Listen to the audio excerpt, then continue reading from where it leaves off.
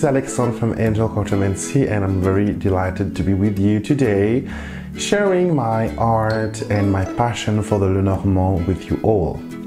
So, hope that you had a wonderful week and that you are ready to start a new one.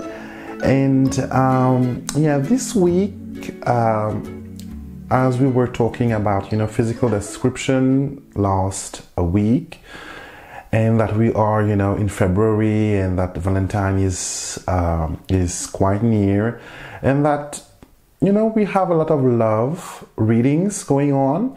So I thought maybe I should share something about, you know, reading the cards in the context of love and relationship and romance. So I'm, I'm going to talk to you about um, a French actually method which is well known to actually know the intention of someone or know what is in his, in his head depending on how you frame your question. And this is called the name spread. The technique is quite simple. It's really really you know you pick one card for each letter that forms his first name. For instance if you were actually questioning about john you will pull four cards for each letter of his name and for Mary, for again, and you know, and for all, all, all, other people, depending on the length of their name, you will take the number of cards that you will need to know what is going on with them. It's really, you know, a spread that is well known in France, and we use it in with many oracles, like with not with tarot, but more with you know with uh, some kind of oracle like uh, l'oracle de Belline or um, de la Triade, you know, all these French style of card reading. And I'm going to take an example so that you get a better understanding on, uh, on the thing, okay? So I have a question there. And um, someone is dating a man, okay? And his name is Bob, okay? B-O-B, so free uh, letter. And this person wants to know, you know, what kind of people, what, what kind of person Bob is, you know. So we've shuffled the cards, we'll set the intention, and we've pulled three cards that forms the name of Bob. Okay, and the cards that came out were the Tower, the Book, and the Lilies. Okay, so this free card will tell us what kind of person Bob is and what he likes or what he dislikes in life. It's really important because you know sometimes you really want to uh, cern the person, you know, really, you know, frame it, box him, whatever you want to call it. And for instance, the tower will tell us that uh, Bob is a lonely guy he doesn't like to be, you know, uh, with many people in large crowd. He really likes his intimacy. He is someone who thinks a lot. Okay.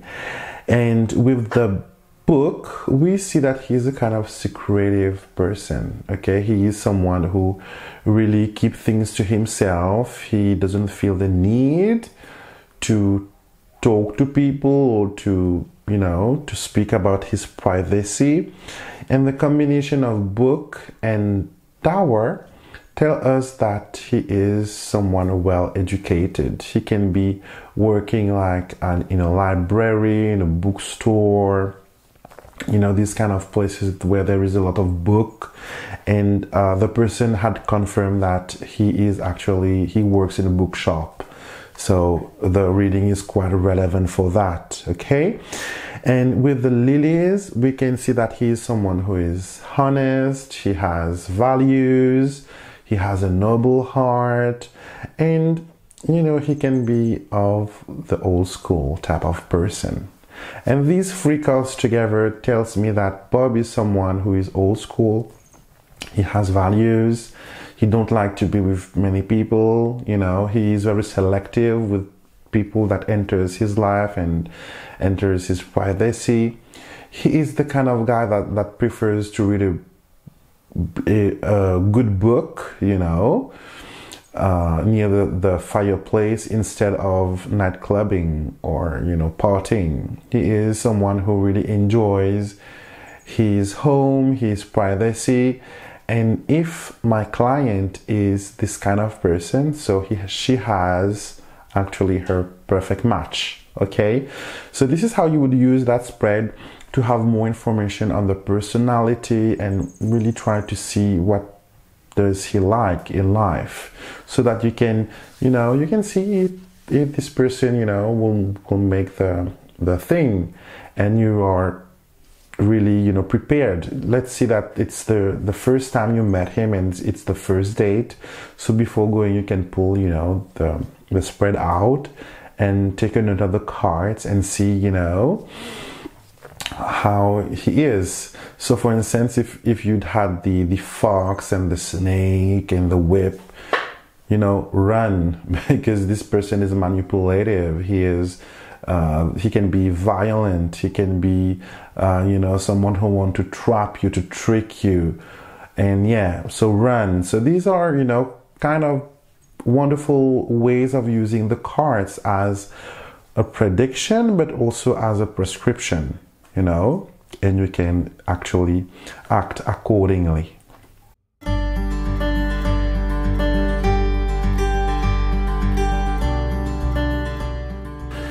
So for this week question, we have an intriguing one and a nice one.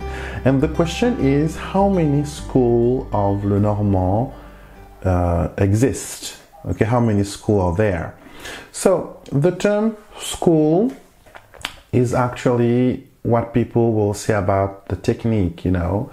Some country had taken the Lenormand and they had, they had actually, you know, changed it a little bit to the taste of their culture, to the taste of their country, and also ways that you know are more easy for them to read the cards.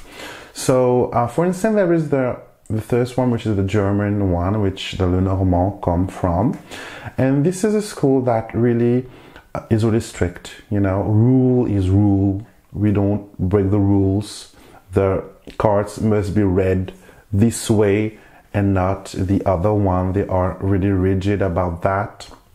They're not tolerant about modifying the Lenormand technique. And um, the technique uses much of direction, directional how uh, how the the querent card, you know, faces, you know, if she faces left like the keeper card, if she faces left, the left will be her future, and what is at her back will be the past. And uh, inversely, if she looks at the right, and you know, then right becomes the future and left becomes the past. So there, there is direction, and there is also the near and the far. Okay, for instance, you read a grand tableau, the sun is far away from the the querent, so this shows, you know, uh, sadness you know. If the moon is far away so there is a lack of uh, integrity. So this is german. Then we have french school which is my way of reading the card but i don't like the term school even if we we use it because people you know call it that way but i don't like the you know school. Why school?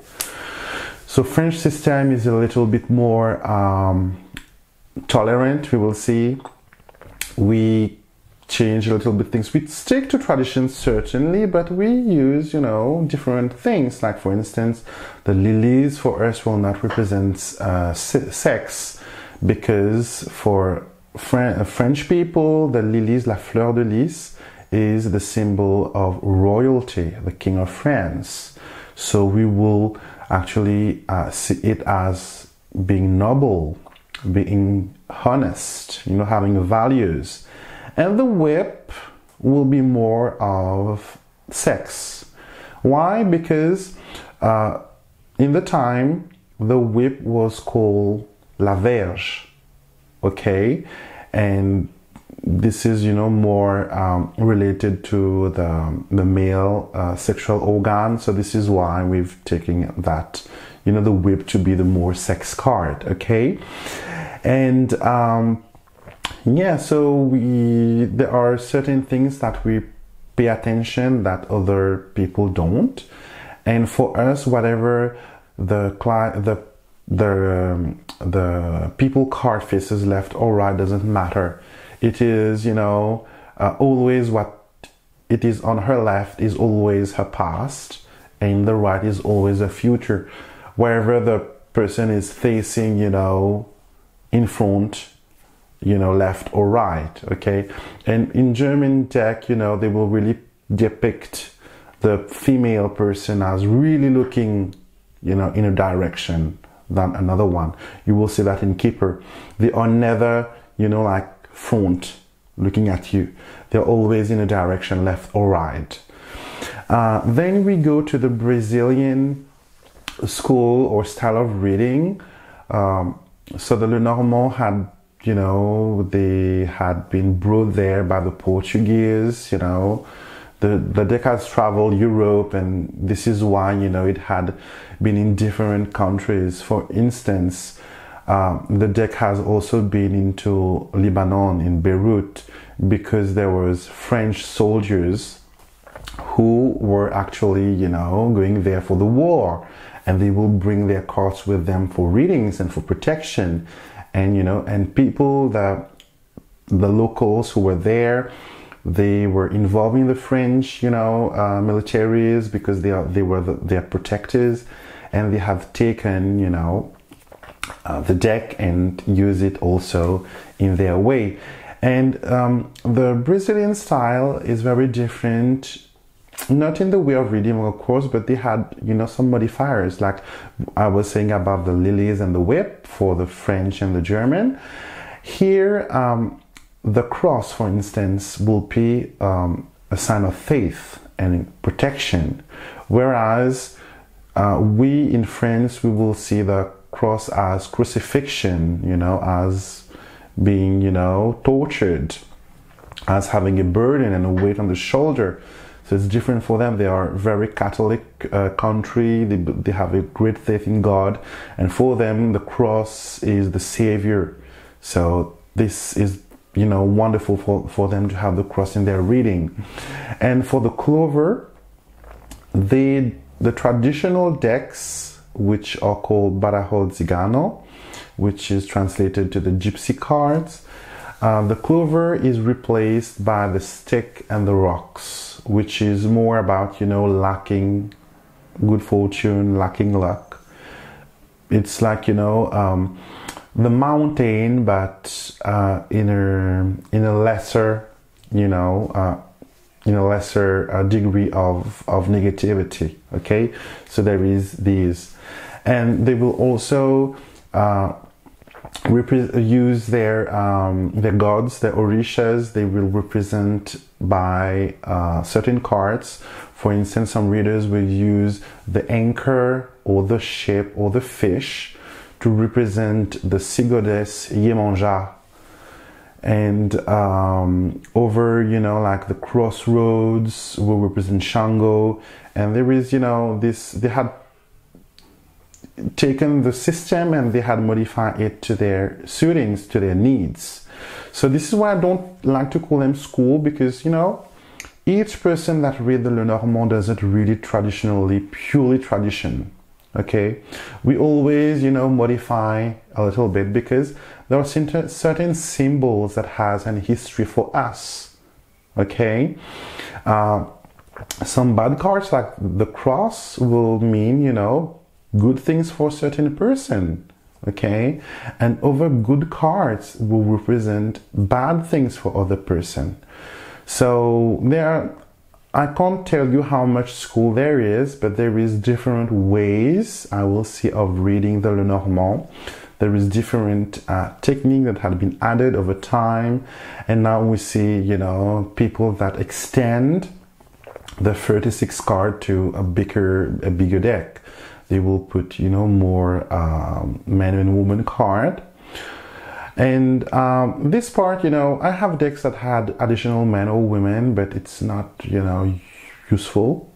When you know when you're doing same-sex reading when you know which card represents same-sex relationship you don't need another man one or another woman. Then you know the the actually the the method of reading it really is you know, altered. And maybe you can, you know, miss some point, but it's up to you if you want to add more cards. And some people want you know to have uh, additional card to make the deck more of theirs. I remember when i first created my first deck of lenormand many years ago i had a deck of 40 cards. I had four extra card which was the angel there was the the sibyl which represents the card reader. There was the umbrella and another card uh, I can't remember. I can't remember but I had you know other card the, the, the joker sorry the joker. And and I found out that yeah it works nicely but I prefer to stick to the 36 card okay because I think it's the perfect oracle for quick readings clear question and getting details. You know, it's very, it's very blunt. This is why I love the Lenormand.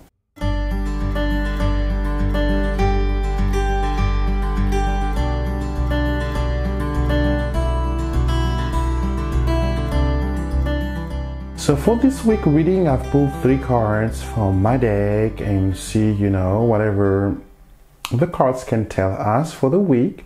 And the three cards that came up was the fox, the man, and the clover. Okay, so the fox is asking you to be very clever this week, to be, you know, to be smarter than other person, and to see the opportunities that are coming to you with the clover. It's a great week where you would work on your project and really uh, try to launch certain products and things. So if you're a book writer, you will want to send your manuscript.